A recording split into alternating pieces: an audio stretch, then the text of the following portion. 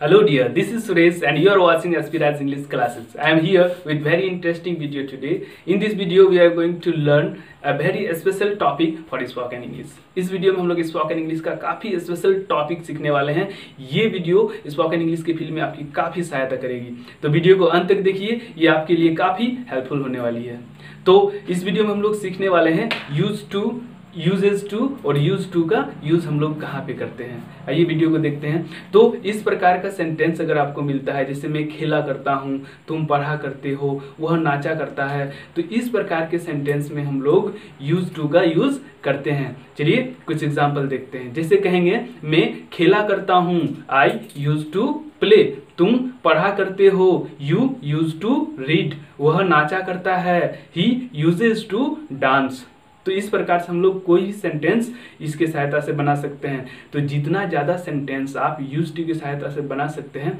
उतना ज़्यादा बनाने का कोशिश कीजिए। अब ज़रा सोचिए, अब जब भी फ्री समय में बैठे हुए हैं घर में या कहीं पे भी कुछ भी, फ्री समय कहीं पे भी अगर आप बैठे हुए हैं तो उसको यूज़ कीजिए सेंटेंस ट्रांसलेट करने में।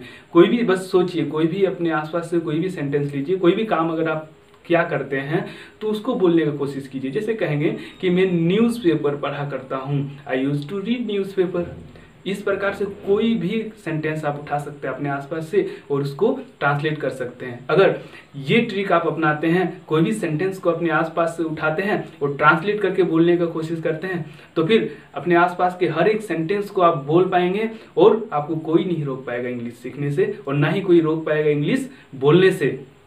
तो कोशिश कीजिए, कोई भी सेंटेंस आपको मिलता है, उसको तुरंत ट्रांसलेट करने का कोशिश कीजिए। तो चलिए, देखते हैं अब अगला यूज़ क्या होता है। यूज़ टू का यूज़ हम लोग कहाँ पे करेंगे? पास्ट में। Any action what we did in past कोई भी एक्शन हम लोग पास्ट में करते थे but we are not doing it any more लेकिन उसको अभी हम लोग नहीं कर रहे हैं। पास्ट में करते थे, अभी नहीं कर रहे हैं। तो वैसे सेंटेंस को हम लोग यूज़ टू की सहायता से बनाएँगे। चलिए एग्ज़ाम्पल देखते हैं। जैसे कहेंगे कि मैं क्रिकेट खेला करता था।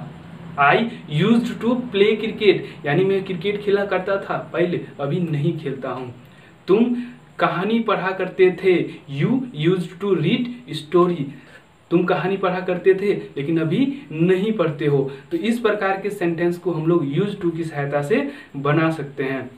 तो जित, कितना ज़्यादा सेंटेंस बना सकते हैं? देखिए यूज़ टू का सेंटेंस जो है, हम लोग कोई भी एक आदत जो पास्ट में था, उस तरह से रिलेटेड कोई भी सेंटेंस अगर आपको मिलता है तो तुरंत आप यूज़ टू की सहायता से ट्रांसलेट कर सकते हैं। बहुत ज़्यादा सेंटेंस जैसे कहेंगे कि महात्मा गांधी टहला करते थे। Mahatma Gandhi use to walk कोई भी सेंटेंस पास्ट में अगर कोई चीज़ रेगुलर होता था तो उसको आसानी से ट्रांसलेट कर सकते हैं। और स्पोकन के फ़ील्ड में यह काफ़ी ज़्यादा यूज़ होता है। तो ये वीडियो बिल्कुल आपके लिए बहुत ही इंपॉर्टेंट है। तो आराम से जितने ज़्यादा सेंटेंस आप बना सकते हैं, उतना ज़्यादा सेंटेंस आप बनाने का कोशिश कीजिए। और बहुत सारे सेंटेंस तो आपको डिस्क्रिप्शन में भी मिल जाएँगे। डिस्क्रिप्शन में जो भी सेंटेंस आपको मिलेंगे, उसको आप बनाने का कोशिश कीजिए और हमें कमेंट कीजिए। अगर कोई सेंटेंस नहीं भी बन पाता है किसी कारणवश तो आप कमेंट कर सकते हैं। रिप्लाई तो आपको बहुत ही जल्द मिलता है। तो जितना ज़्यादा सेंटेंस बना सकते हैं, उतना बनाने का कोशिश कीजिए। जहाँ तक मेरा विश्वास है, आपको कहीं पर भी कोई भी दिक्कत नहीं होगी। तो ज़्यादा से ज़्यादा सेंटेंस बनाने का कोशिश कीजिए। तो आज की वीडियो में हम लोग इतना ही रखते हैं। अगले वीडियो में हम लोग कुछ नया और इंटरेस्टिंग सीखेंगे। थैंक्स